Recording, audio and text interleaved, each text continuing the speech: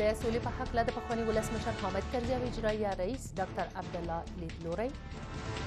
چې امریکې ته تسلیم رسولو نور ته خو نه تسلیمیږو ابدا نه صلح به معنای معامله با یک کسی با یک گروه در بدل عزت و حیثیت و حقوق مردم نیست و نمی باشد په افغانستان کې د انسانانو د قاچاق او ناقانونه کډوالۍ پر زیاتېدو د نړیوالو بنسټونو اندېښنې د انسان قاچاق او ناقانونه کډوالي مخ په زیاتېدو ده چې زمونږ د اندېښنې وړ ده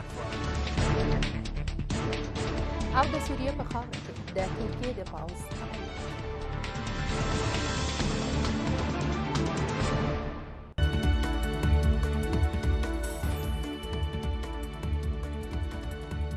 د لوی او مهربانه خدای سره ودې قدرمن لیدونکو سلامونه او د نن یکشنبه د روان مریض کال د کب درېیمه چې د 2015 میلادي کال د فبروري د 22 نیټې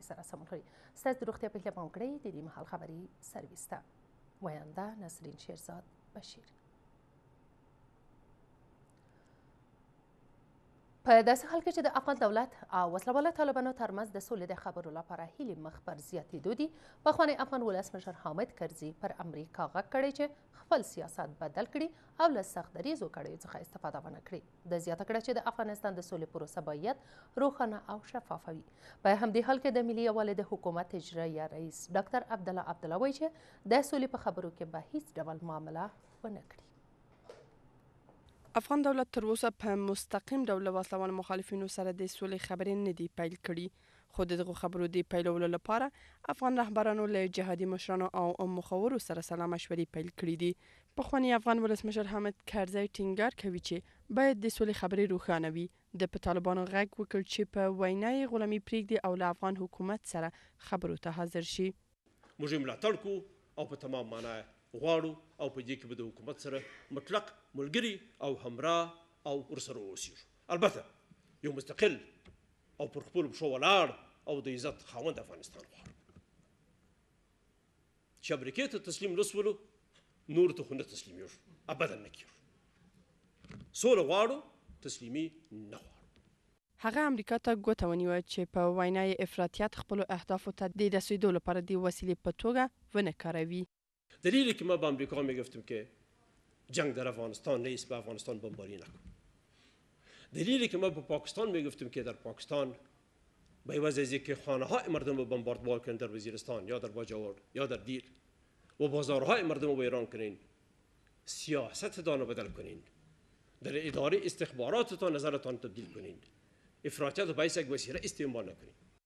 د ملي یووالي حکومت اجرایي رئیس ډاکټر عبدالله عبدالله ویلي چې د سولې په خبرو کې به د وسلهوالو مخالفینو سره د هېواد په ملي ګټو معامله ونه کړي. صلح به معنای معامله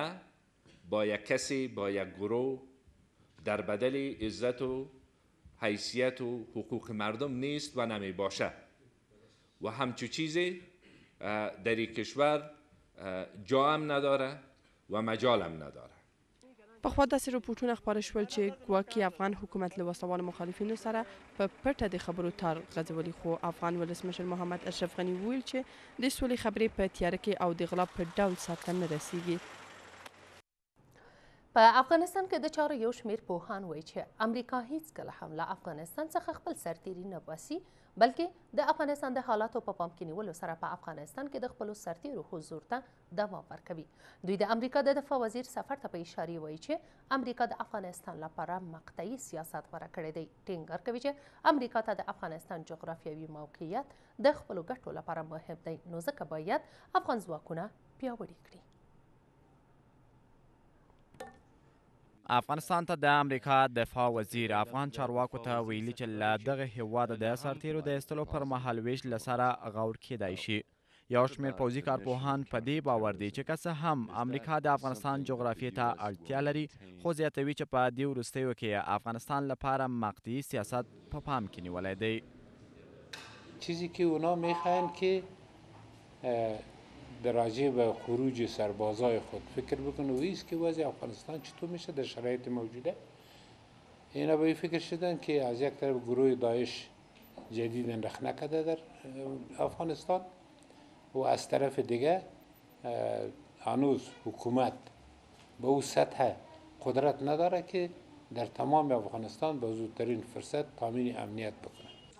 پوځي کارپوهان په دې باور دي چې په افغانستان کې د نړیوال ټولنې او نړیوالو سرتیرو له 14 کلن حضور سره سره لا هم افغان ځواکونه د نړیوالو ملاتړ ته اړتیا لري اینا فقط در پای منافع خود هستند در افغانستان من فکر میکنم که امریکا باید افغانستان را به باد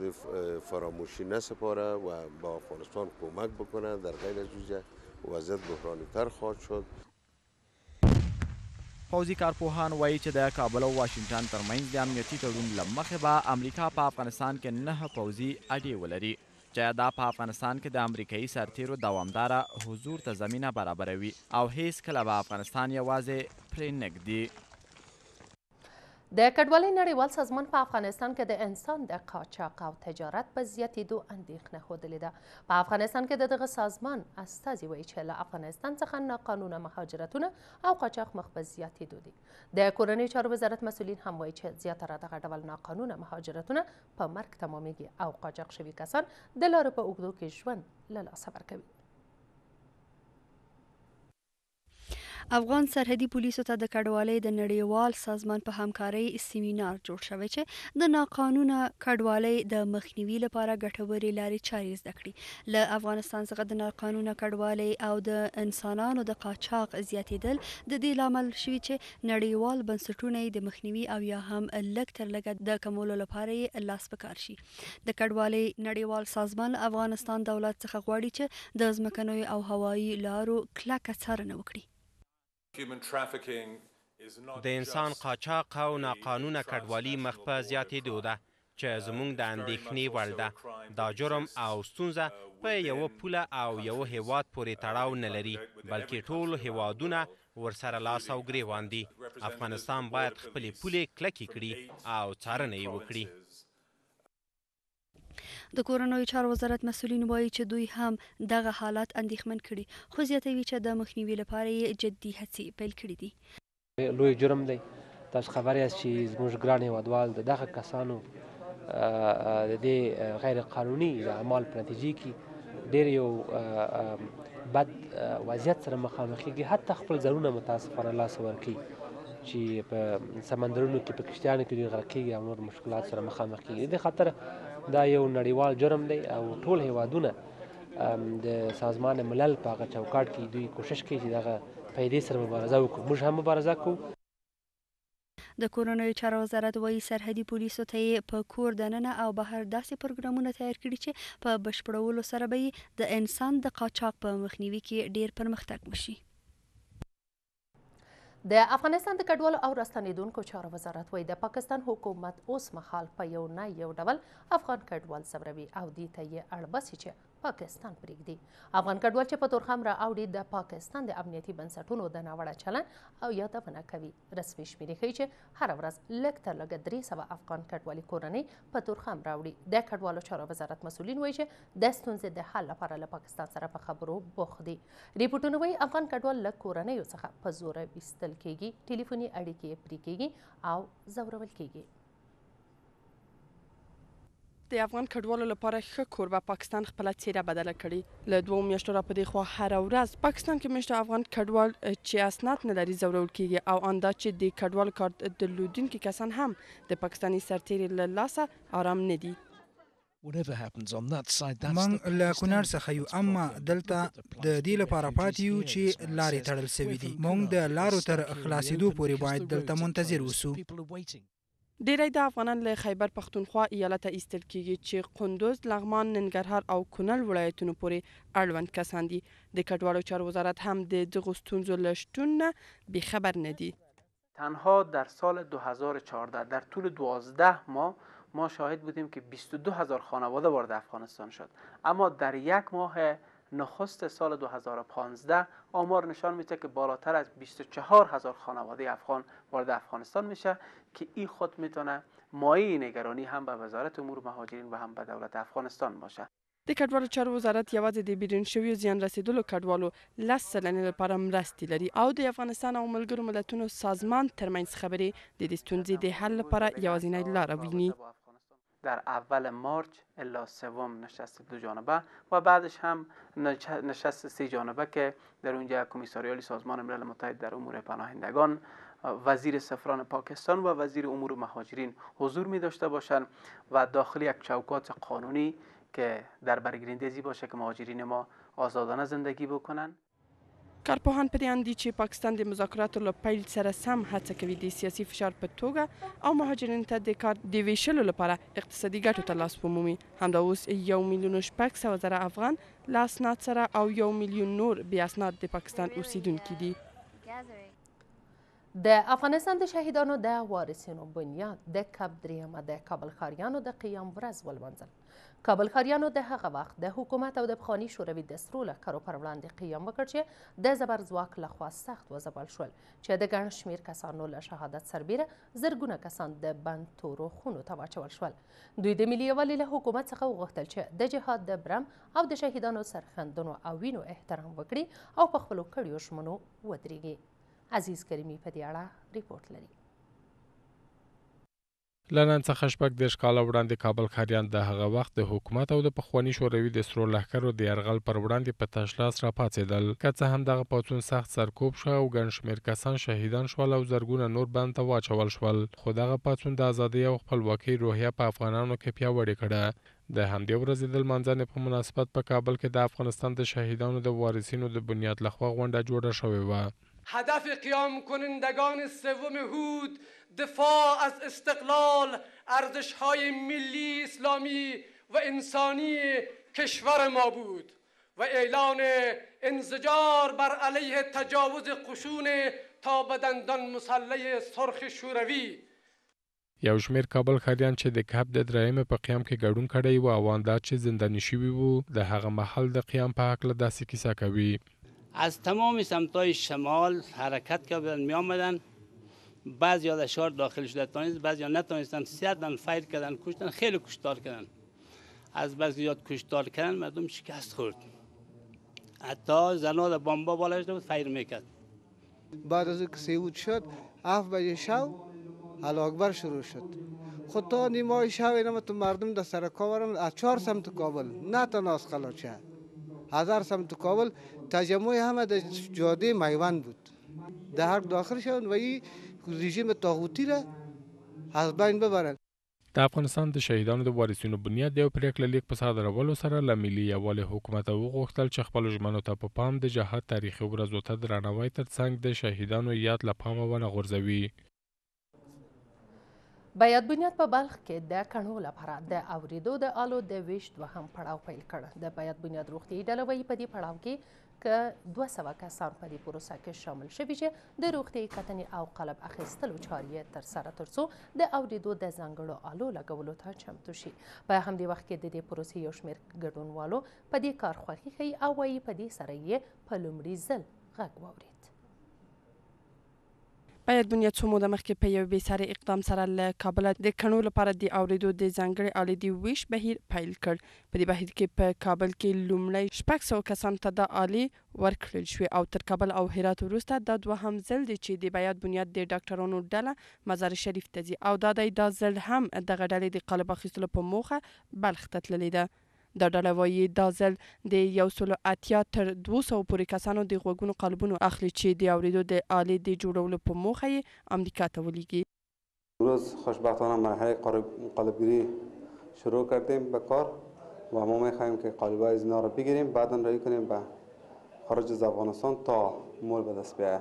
که قالبهای زینا پخته میشن البته. په بلخ کې د سویډن کمیټې د معلولینې د توانمندتیا او د کڼو د ټولنې مسولین د بیات بنیاد دا کار یوه لویه مرسته ګڼي او په دې برخه کې د بیات بنیاد اقدام ستایي. البته بعد از این قالب گیری قرار معلوماتی که اینا دادند یعنی حدود سه ماه بعد پس تیم خواد آمدند و ما آلای شنوایی که برای ناشنوایان مطلق داده می شود بعد از گرفتن می آلین آشناوایی ای داشناوایان می تانه با دنیای صوت وصل شود و صحبت بکند. میگه جای بسیار احساس خوشی میکنم جای افتخارم است چون زمانی که صدای ما از طریق نماینده بیات به گوش بیات صاحب رسید او همراه ما همکاری کردن قسمی که در ناشنوا در مرکز برشان همکاری کرده بودن کمک امروزه بر ما کمک کردن در ناشنوا د بیعت بنیاد مسؤلین وایي دا یوه دوامداره پروسه ده او ټول هغه کاڼه به برخمن شي چې په افغانستان کې ژوند کوي په ځانګړې توګه ماشومان. د یادونې وړ ده چې دا پروګرام په څلورو پړاوونو کې عملي کېږي او په وروستي پړاو کې د اورېدو د ځانګړو آلو ویشل دي. بهرني خبرونه به له ترکیې څخه به یو خبر تر لنډې دمې وروسته ورکړو.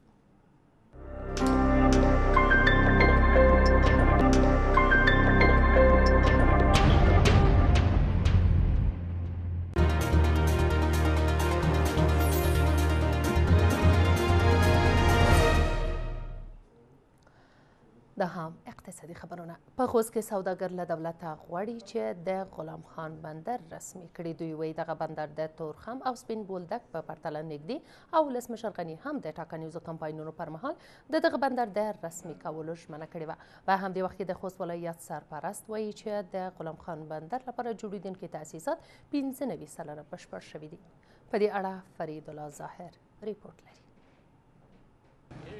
اوس مهال د خوست ولایت په ګربز ولسوالۍ کې د غلام خان بندر لپاره د نږدې څلوېښت میلیونه ډالرو په ارزښت تاسیسات جوړېږي، خو دا بندر تر اوسه رسمي نه دی او سوداګر ترې په رسمي توګه ګټه نه شي اخیستی. د خوست سوداګر له دولت غواړي چې یاد بندر رسمي کړي او دا لاره به پر افغانستان افغانستان سربېره د منځنۍ اسیا د هېوادونو لپاره سوداګریزې اسانتیاوې ډېرې کړې. خوست او غلام خان لاره زموږ لپاره عملي ترانزیټ دي، تر څو د خوست د سوداګرو ستونزې حل شي، په عین زمان کې د افغانستان لپاره د خوست او غلام خان لاره ډېره مهمه ترانزیټي لار ده، چې د نورو بندرونو په پرتله څلور سوه شل کیلومتره په دې کې تفاوت دی، که چېرته دا لار عملي ترانزیټ شي،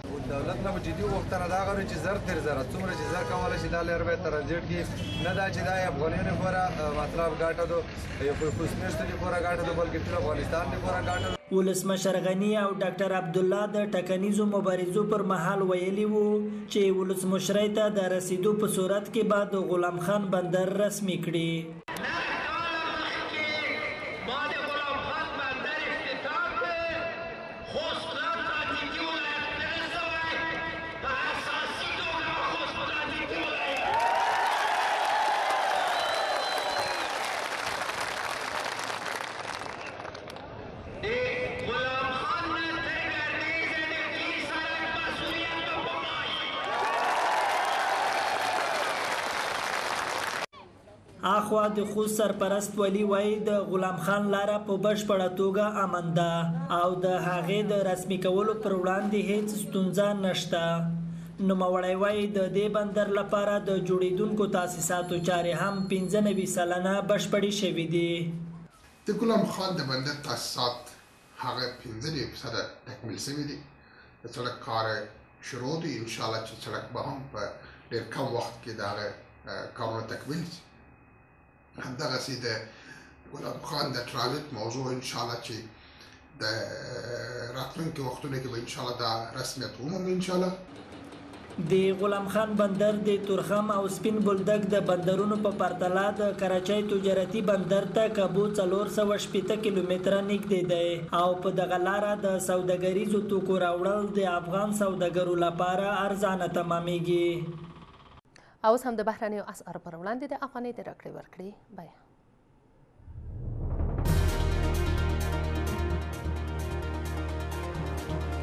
یو امریکایي ډالر و پنځوس افغانۍ دېرش پوله یو یورو پنځه شپېته افغانۍ څلوېښت پوله یو انګلیسي پاونډ اوه اتیا افغانۍ اتیا پوله د امارات یو درهم پنځلس افغانۍ شپېته پوله زر ایراني تومنه شپاړس افغانۍ اویا پوله او زر پاکستاني کلدار یې پنځه سوه دوه شپېته